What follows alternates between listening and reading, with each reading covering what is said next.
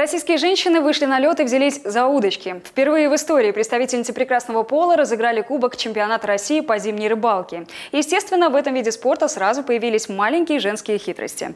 Форма таких спортсменов свободная. Цель соревнования с помощью некитрых спортивных снарядов, бура, удочки и мотыля выудить из лунки как можно больше килограммов рыбы. Мне все знакомые мужчины говорят, ну это не женский вид спорта. Я говорю о метании ядра, это женский вид спорта. Или гребля, или, ну что там еще у нас, штанга, тоже же не женский. Рыбачки в этом году побили рекорд по количеству. На соревнованиях в Челябинской области их 15, что впервые в России позволило разыграть отдельный женский кубок.